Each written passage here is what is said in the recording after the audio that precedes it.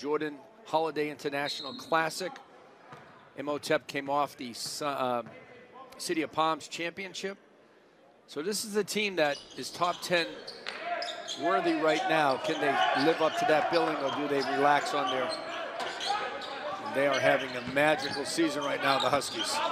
Edgecombe bobbled it a little bit, got blocked, couldn't put the second effort in, and the offensive rebound is there for Godswill Erheriene. Through the bumps and understand the foul may not get called. And Danier is all cash on the three.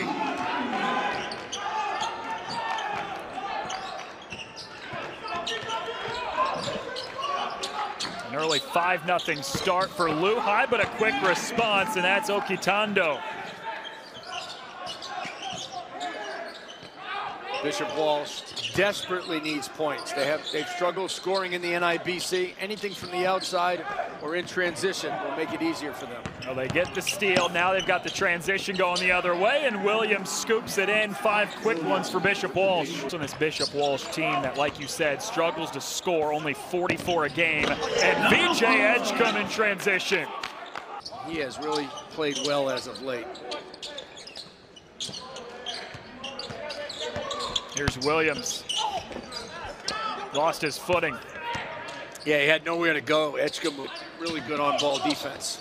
Ross kicks, open look. VJ Edgecombe splashes the three and 11 straight from LuHi. Nice curl. Fleming bounces inside. Okitando with a step back fadeaway. Offensive rebound, the stick back there for Kennedy. For Edgecombe and an assist on the alley-oop. And Ross who had the dunk now with the rebounds. Euro step and banked in by Caden Mingo, just a sophomore. The former legendary longtime head coach at Oak Hill always said, you're three games away from a winning streak. Kel Tyne lost the dribble, another Bishop Walsh turnover. Ross shovels off underneath and Danier off the glass. Every pass and catch. Tyne fadeaway mid-range jumper. Defense has been all over him. Good look. He lost his shoe, but Jaden Ross still dunks it. For LuHi, this team is sharing the ball so well.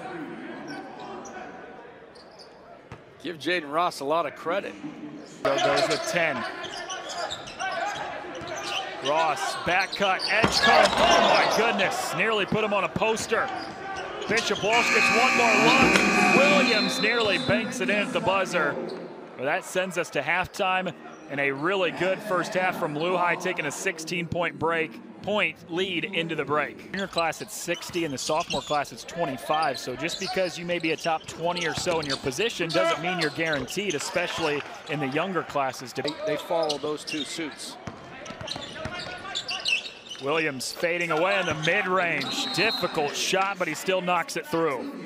Jaden Ross. Whoever gets, whoever gets Jaden Reed is going to get a special player. How about VJ Edgecombe? You're going to get a pretty special one there, too. VJ Edgecombe with the hard finish. How about that dime? Woo! To Ndanye. No mistake about it, three in the white. You want him on your team. Three-star ESPN recruit. Oh, man, how about the LSU commit and Williams? Decade. They have Cohen Card. Plays for Legacy in the NIBC. Maybe the best athlete in the class of 2023. Certainly one of the best finishers along with Booker. They, they have an athletic scoring class that average double figures, and they have five guys that play team defense. And Rob Smith sounded very confident on the phone today about his team's defensive approach. They're 12-0, undefeated, taking on a Cathedral team out of Indianapolis who's had a really good season. Won a state title last year and looking to make it back-to-back -back this year in the state of Indiana. Selman banks it in for Bishop. They unknown, but wasn't necessarily a guy who was drawing huge game plans against him last year as a junior. Then he had a they got up double digits in the first quarter and never looked back on their way to a 73 47 win. And this team that's up to ninth in the country, coach, is looking every bit like a ninth ranked team in the country, getting it done on both ends of the floor today.